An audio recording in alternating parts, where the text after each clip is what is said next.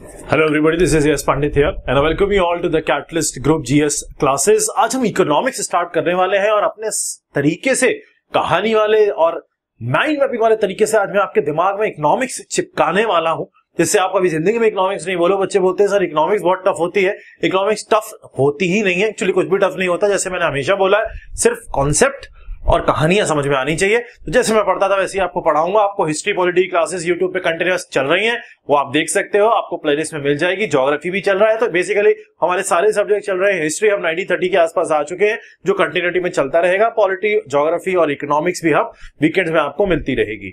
उससे पहले class start करने से पहले मैं अपना थोड़ी सी खुशी ज़ाहिर करना चाहता हूँ। हम लोगों ने, जैसे आपको पता था यूपीएससी ईपीएफओ का कोर्स लॉन्च किया था, एक तीन हज़ार रुपए का, और बहुत सारे एडमिशन हुए हैं और हो रहे हैं कंटिन्यूसली और जब आप लोगों के मैसेज आते हैं ना कि, सर, हम लोग क्वेश्चन सोल्व कर पा रहे हैं, अब हम कोई भी टेस्ट सीरीज़ देते हैं, हमारे क्वेश्चन सारे सोल्व हो जाते हैं, हम मुखर्जी नगर में तीन तीन चार चार साल से कोचिंग कर रहे थे, पर कॉन्सेप्ट समझ में नहीं आ रहा था।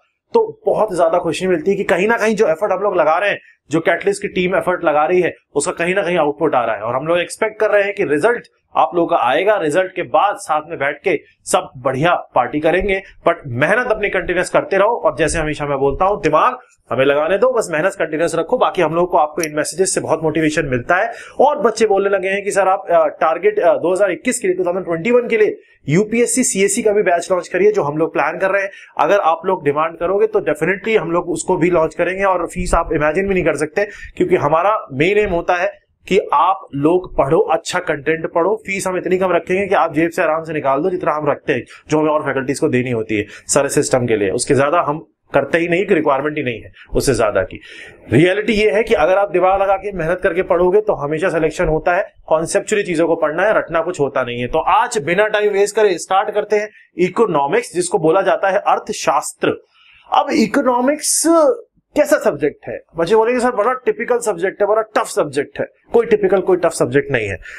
इकोनॉमिक्स एक ऐसा सब्जेक्ट है जो एक्चुअल में हमें बचपन से पता होता है। हम जब पैदा होते हैं ना तो हम अपने घर में वो चीज़ें देखते हैं। हम अपने आप ऑटोमेटिकली ये सिस्टम सीख जाते हैं, जिसको बोलते हैं इकोनॉमिक्स सिस्टम क्या होता है? अगर आपसे बोला जाए, आप ये हो, देखो, लिखा, आपका नाम द ग्रीडी बॉय मैं अपने तरीके से समझाऊँगा, जैसे मैं समझाता हूँ माइंड मैपिंग अपने आप बस आँखें, कान और बड़ी बड़े दिमाग खोल के इसको देखते रहना स्क्रीन को। ये आप हो, मान लो आप लालची हो, आपके हाथ में एक ये लॉलीपॉप है और आप समोसे खरीदने जा रहे हो, आपके पास पाँच रुपए दिए गए। मान लो पुराने जमाने की बात करता हूँ, मेरे टाइम में पाँच रुपए में तीन समोसे मिलते थे बट कोई दुकानदार ऐसे भी होते थे जो पाँच रुपए में दो समोसे देते थे। वहाँ पे वहाँ पे मुझे किसी ने इकोनॉमिक्स पढ़ाई नहीं थी। मेरे पास अगर पाँच रुपए होते थे तो मैं उस दुकान पे जाता था जो दुकानदार मुझे पाँच रुपए में तीन समोसे देगा। इसका मतलब क्या हुआ? इसका मतलब ये हुआ कि मैं समोसा खाना चाहता हूँ, मेरा ये मन है, मेरी ये चाहत है, मेरी ये डिमांड है। समझना बात को। हम टेक्निकल चीज़ों को प्रॉपर वे में इजी तरीके से चीज़ों को समझेंगे। इकोनॉमिक्स के अंदर प्रॉब्लम क्या आती है बच्चों को? कि जो टेक्निकल लैंग्वेज होती है, जो किताबों में लिखी होती है, जो पढ़ाया जाता है, उसको हम एक्चुअल रियलिटी के साथ रिलेट नहीं कर पाते, जिसकी वजह से हम कंफ्यूज होते हैं। और जिस दिन हमें रिलेट करना आ जाएगा, जो कि मैं आपको करवा दूँगा, आपको इकोनॉमिक्स में मज़ा आने लग जाएगा, क्योंकि इकोनॉमिक्स सच में बहुत अच्छी चीज़ है।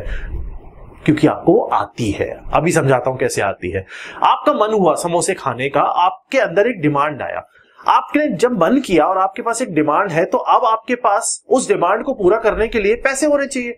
समोसे फ्री में तो देगा नहीं। तो इसका मतलब जो पैसे होते हैं, वो कहलाती हैं रिसोर्सेस मेरे पास कुछ पैसे हैं, वो है रिसोर्सेज कितनी रिसोर्स है मेरे पास? पाँच रुपए रिसोर्स है। अब मैं क्या चाहूँगा? अब मैं चाहूँगा इन रिसोर्स का यूटिलाइजेशन करके, इन पैसों का यूज़ करके मेरे जो डिमांड है, उसको मैं पूरा करूँ। मेरा मन हो रहा है मैं समोसे खाऊं। अब मैं गया। अब मैंने देखा, यार, दो दुकानदार हैं, एक समोसे पाँच रुपए में तीन दे रहा है, एक पाँच रुपए में दो दे रहा है। मैं किसके पास जाऊँगा?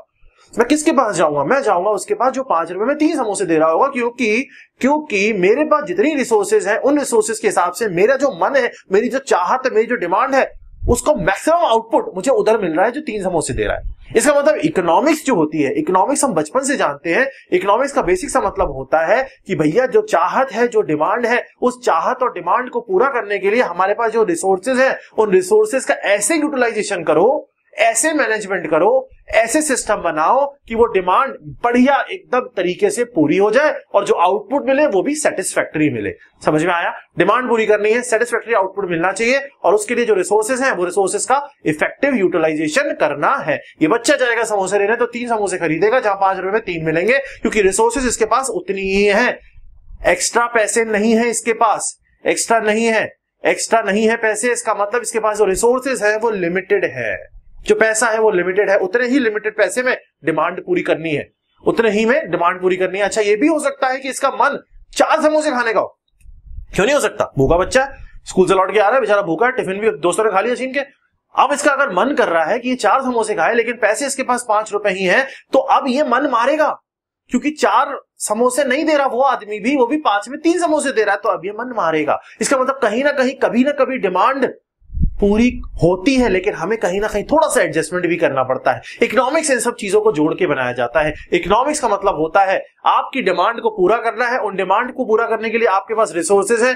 डिमांड आपकी अनलिमिटेड हो सकती है। चाहने को तो मैं सौ समोसे हो सकता हूँ कि पाँच रुपए मिल जाए, लेकिन नहीं मिलेंगे। तो डिमांड तो अनलिमिटेड होती है, लेकिन जितनी भी डिमांड है मेरी, कम से कम इतनी डिमांड पूरी हो जाए कि मुझे सेटिस्फेक्शन मिल जाए, और वो सेटिस्फेक्शन मिलने के लिए मेरे पास रिसोर्सेज है, उन रिसोर्सेज का मुझे प्रॉपर तरीके से इफ़ेक्टिव तरीके से यूटिलाइजेशन करना है। इसका मतलब इकोनॉमिक्स का मतलब होता है डिमांड पूरी करने के लिए रिसोर्सेज का इफ़ेक्टिव मैनेजमेंट या यूटिलाइजेशन करना जिससे सेटिस्फैक्टरी आउटपुट और बढ़िया रिज़ल्ट मिले। समझ में आया? ये आपको आता था। अभी मैं आपको बोलूँ कि बेटा ये पैसे लो, दस हज़ार रुपए और जाके एक फ़ोन खरीद लो तो आप वो फ़ोन खरीदोगे जिसके पास सबसे बढ़िया फीचर्स होंगे दस हज़ार रुपए में। क्यों? क्योंकि आप जानते हो कि बढ़िया चीज़ इतने ही पैसे में खरीदनी है। तो आप बढ़िया चीज़ इतने ही पैसे में खरीदनी है तो लिमिटेड रिसोर्सेज है।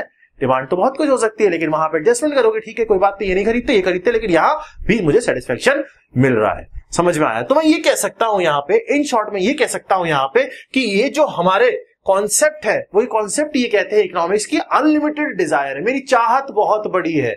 चाहत बहुत बड़ी है, चाहत पूरी करने के लिए जो रिसोर्सेज मेरे पास है, वो लिमिटेड है। रिसोर्सेज की कमी है मेरे पास इंसान हर लेवल का हो, चाहे वो गरीब हो, चाहे वो अमीर हो, चाहे वो किसान हो, चाहे वो बिजनेसमैन हो, उसकी चाहत बड़ी ही होती है। याद करो, आपके पास जब मोबाइल नहीं हुआ करते थे तो हम फ़ोन से काम चलाते थे। जब मोबाइल आने लग गए तो मन में आया, बड़ी स्क्रीन वाला मोबाइल चाहिए टच वाला मोबाइल चाहिए। जब टच वाला मोबाइल आ गया तो फिर टैबलेट चाहिए। इसका मतलब हमारी डिमांड कभी रुकती नहीं है। इंसान की नेचर है, इंसान की एक नेचर है कि उसकी जो डिजायर्स है वो कभी भी रुकती नहीं है। वो डिज़ायर बढ़ती चली जाती बढ़ती चली जाती जितना ऊपर जाओगे, उतना ज़्यादा डिज़ायर बढ़ेगी। आज आपके पास बाइक होगी, कल आप कार खरीदोगे। आप जब कार खरीदोगे तो आपको और बड़ी कार चाहिए होगी, फिर आप और बड़ी खरीदोगे तो आपको रॉस रॉयस चाहिए होगी। इसका मतलब क्या होता है? आपकी डिमांड अनलिमिटेड है बेटा। लेकिन जेब में पैसा तो लिमिटेड है ना?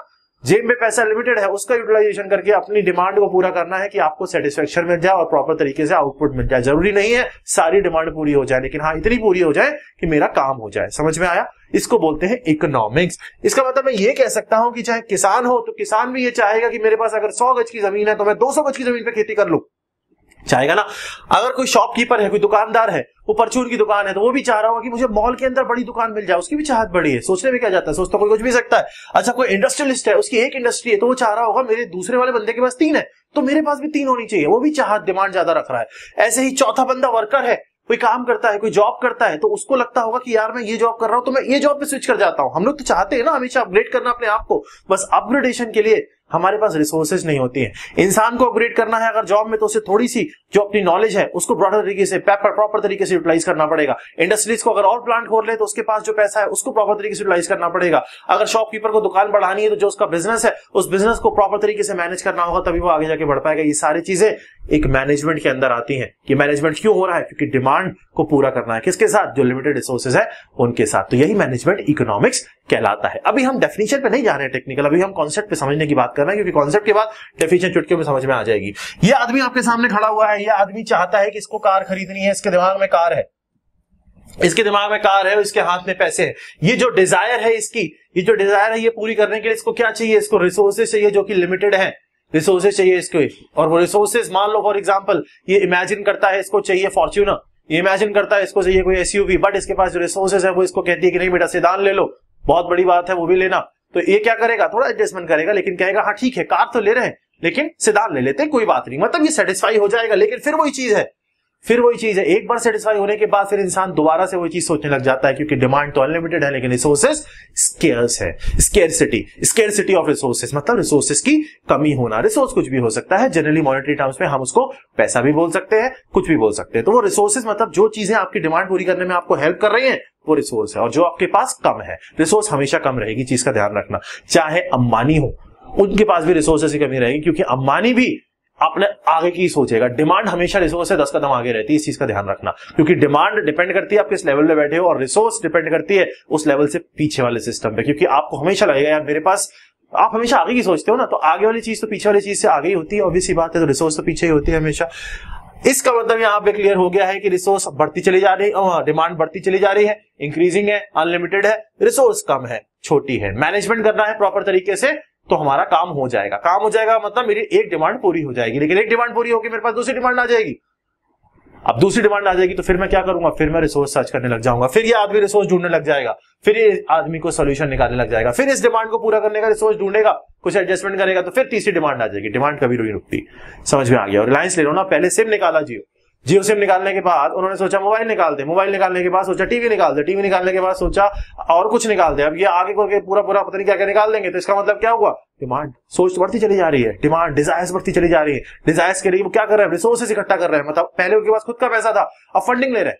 रिसोर्स चाहिए ना? रिसोर्स ढूंढनी पड़ेगी बंदा रिसोर्स ढूंढेगा अपनी डिमांड पूरी करने के लिए। तो फंडिंग ले रहे हैं। आप फंडिंग हो रही है कि भैया फेसबुक से ये इन्वेस्टमेंट कर दो रिलायंस के अंदर, ये इन्वेस्टमेंट कर दो रिलायंस के अंदर। क्यों? उनके पास पैसा आ जाएगा। पैसा आ जाएगा तो रिसोर्स आ जाएगा रिसोर्स आ जाएगी तो वो अपना अगला डिमांड पूरा कर पाएँगे। समझ में आ गया होगा कॉन्सेप्ट इसका मतलब यहाँ पे एक चीज़ बिल्कुल समझ में आ चुकी है कि डिमांड हमारी अनलिमिटेड है और रिसोर्सेज हमारी लिमिटेड है और उन लिमिटेड रिसोर्सेज को डिमांड पूरी करने के लिए प्रॉपर तरीके से यूटिलाइज करना है। क्लियर इतना कॉन्सेप्ट समोसे वाला एग्ज़ाम्पल ध्यान रखना, लालची हो ऐसे सबके सब। दूसरी चीज़, एक चीज़ क्लियर यहाँ पे हो चुकी है कि डिमांड इंसान की बहुत सारी होती है। एक टाइम पे हो सकता है मेरे पास चार ख्वाहिशें हो। हो सकता है मैं पाँच चीज़ें करना चाहता हूँ।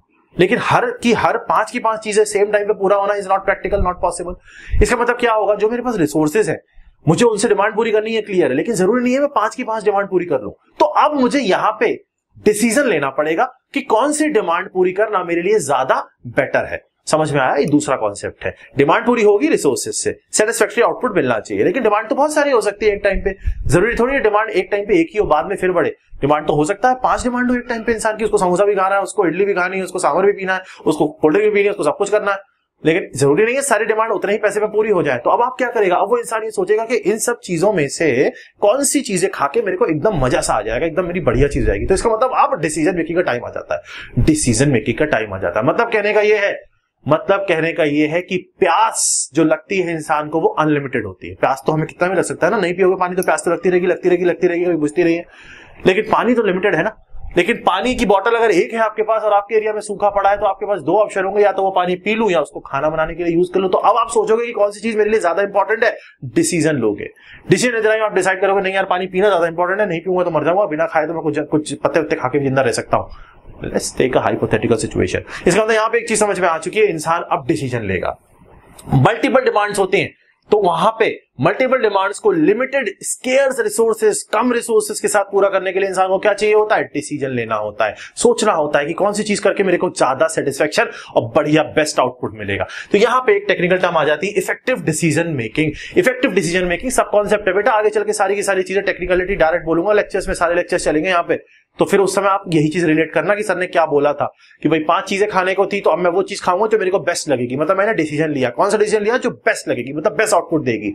जब एक ही चीज़ मेरे को खानी थी तो मेरे पास रिसोर्सेज थी, उसके लिए मैंने बेस्ट जितनी ज़्यादा वो चीज़ मिल जाए उतना ज़्यादा चाहा। पाँच रुपए में तीन समोसे मिल रहे थे बेस्ट थे। मेरी चाहत थी, चार मिल जाते। लेकिन मैक्सिमम मुझे कितने मिले? तीन। तो मैंने थोड़ा बहुत एडजस्टमेंट कर लिया।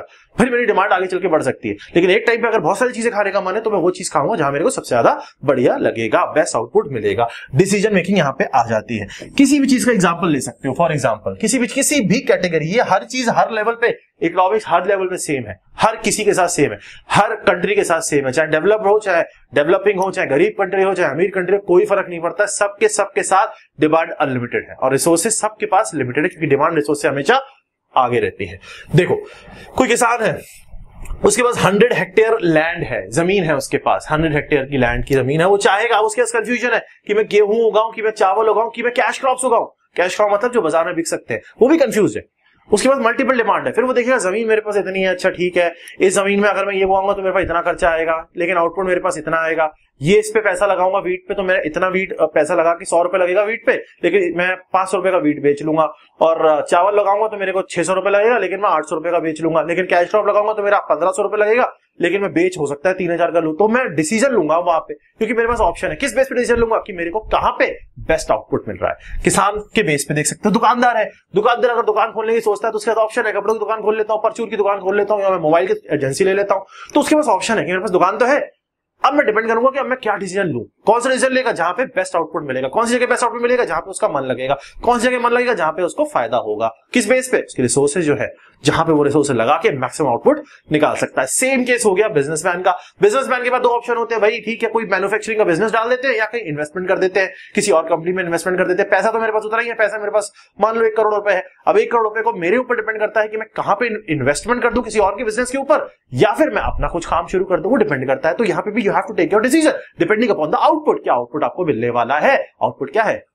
फ़ायदा फ़ायदा प्रॉफिट इकोनॉमिक्स बात करती है आउटपुट पे। आउटपुट बात करता है फ़ायदे पे। फ़ायदा बात करता है डिमांड पूरी होनी चाहिए बेस्ट तरीके से।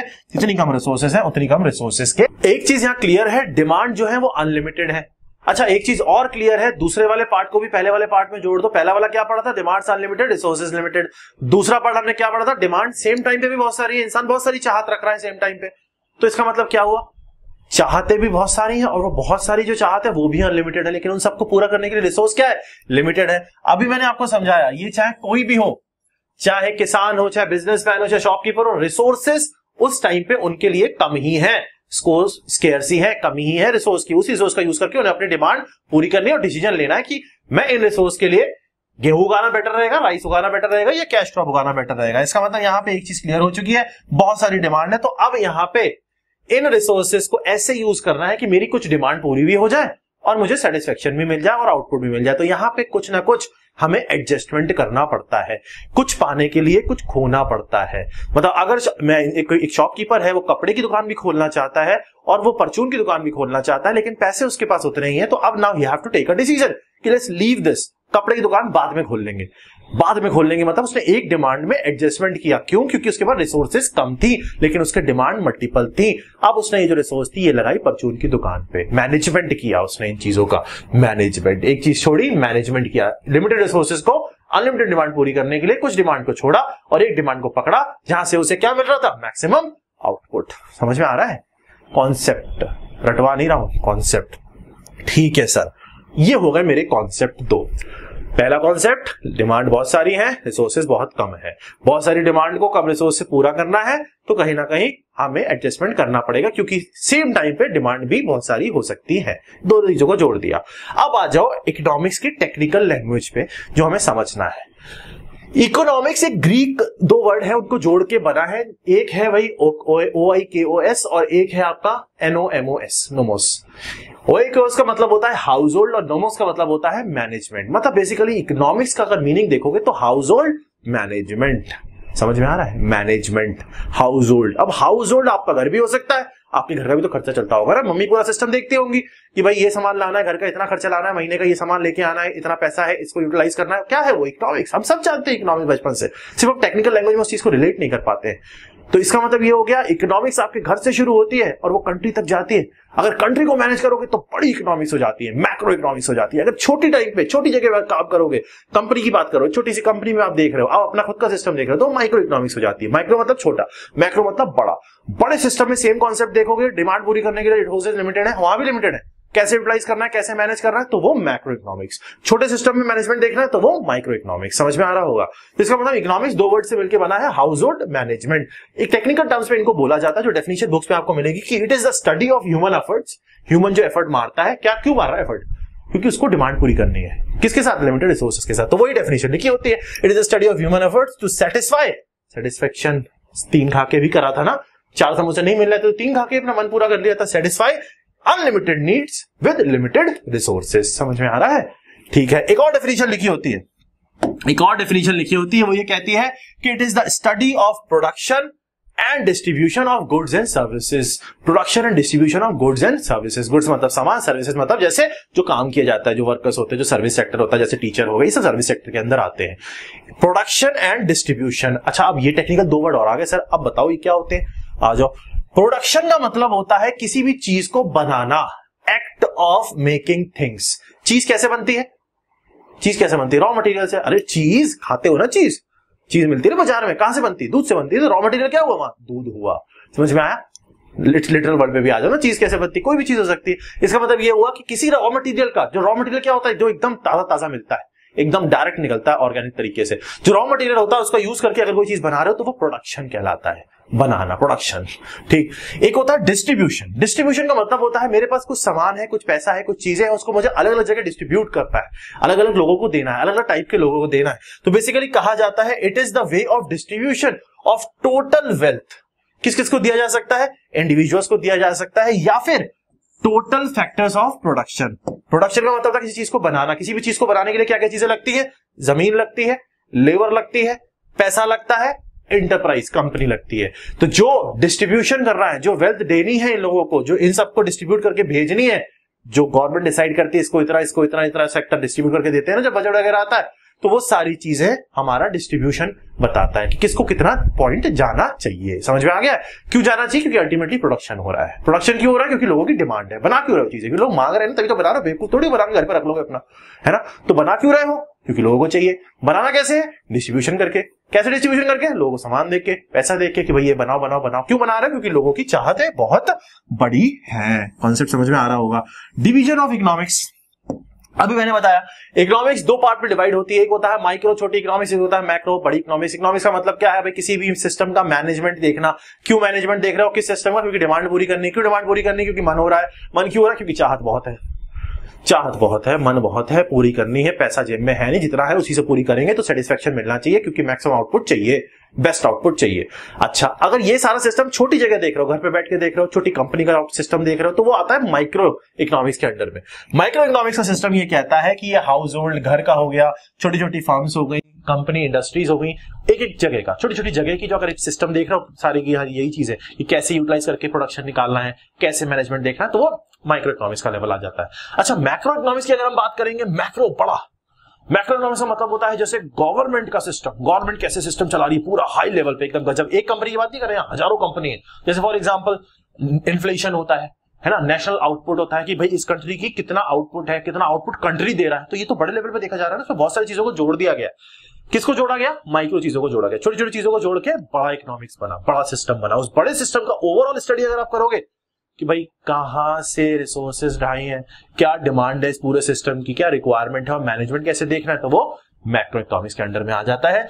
जैसे बड़ी बड़ी चीज़ें मैंने आपको बता दिया प्राइस का चेंजेस आना इन्फ्लेशन होना अनएम्प्लॉयमेंट ये बड़ी बड़ी चीज़ें अनएम्प्लॉयमेंट एक कंपनी में प्रॉब्लम हो रही तो वो माइक्रो लेवल पे देखा जाएगा। लेकिन बहुत बड़े स्केल पे देख रहे हो अगर, हज़ारों कंपनी होगा तो वो मैक्रो लेवल पे देखा जाएगा। That is macroeconomics economics means management of household household management household can be anything अगर छोटे लेवल पर देखोगे तो आपका घर है, जो आपकी मम्मी देखती है, वहाँ की प्राइम मिनिस्टर वो है फाइनेंस मिनिस्टर वो है, वही सारी मिनिस्टर है। और अगर आप हाई लेवल पर जाओगे तो अपनी गवर्नमेंट बैठी हुई है कैबिनेट मिनिस्टर्स बैठे हुए मिनिस्टर्स बैठे हुए समझ में आ गया होगा? इकोनॉमिक्स का कॉन्सेप्ट ये क्लास एकदम कॉन्सेप्चुअल थी। तीन क्लासेस इकोनॉमिक्स की एकदम गजब की कॉन्सेप्चुअल होंगी। सिर्फ़ कॉन्सेप्ट समझाया जाएगा। अगर वो तीनों क्लासेस कॉन्सेप्ट समझ में आ गया तो बाकी क्लासेस में हलुआ है हलुआ ग्राफ ऐसे बन जाएँगे जो ग्राफ देख के डरते हो ना, सर, ये डिमांड सप्लाई क्या हो रहा है? वो डिमांड सप्लाई में यही हो रहा है कि भैया डिमांड तो है ही लिमिटेड ही नहीं है अनलिमिटेड भरी पड़ी है। डिमांड तो इंसान की खत्म ही नहीं हो रही ना। कल आप ऑफिसर बन जाओगे। आपका मन कुछ और कर जाएगा। मन एक बहुत ही विचलित चीज़ है, बहुत विचलित विचलित है। कभी ना कुछ ना कुछ चाहिए होता है। साइकिल थी बचपन में बाइक चाहिए थी। बाइक मिल गई बचपन में, बड़े होके, कार चाहिए। कार मिल जाएगी, सर एसयूवी चाहिए। एसयूवी मिल जाएगी, सर रॉस रॉयस चाहिए रॉस रॉयस मिल जाएगी, सर एरोप्लेन चाहिए, ये चाहिए, वो चाहिए, है ना? तो चाहिए चाहिए चाहिए। ये चाहिए means that is the main base Buddha ने बोला था ना, जब मैं पढ़ाऊँगा आपको हिस्ट्री अभी हम जब डेप्थ में आएँगे, अभी अपने बीस लेक्चर आ चुके हैं तो मैं समझाऊँगा। बुद्धा ने ये चीज़ बोली थी कि डिज़ायर जो है ना, वो ही हर चीज़ का कारण है। डिज़ायर खत्म कर लोगे तो सब प्रॉब्लम सारी तकलीफ़ हर चीज़ खत्म हो जाएगी। हर चीज़ का जो बेस है दैट इज़ डिज़ायर बट मेरी एक चीज़ ध्यान रखना फ़र्स्ट डिजर्व देन डिज़ायर पहले डिजर्व करो, कुछ बनना, फिर डिज़ायर बनानी चाहिए। समझ में आया? इसको सोच के देखना जो मैंने बोला है। मिलते हैं नेक्स्ट क्लास में इकोनॉमिक्स की इकोनॉमिक्स की सारी क्लासेस चलेंगी हिस्ट्री की चल रही है पॉलिटी की चल रही है ज्योग्राफी की चल रही है, सारी सारी चल रही है। इसके अलावा अगर आपको कोई कोर्स ज्वाइन करना है तो कर लो। क्लासेस उसकी भी चल रही है। मस्त रहो, ऐश करो, पढ़ते रहो, मेहनत करते रहो, आगे बढ़ते रहो। बस, खुश रहो।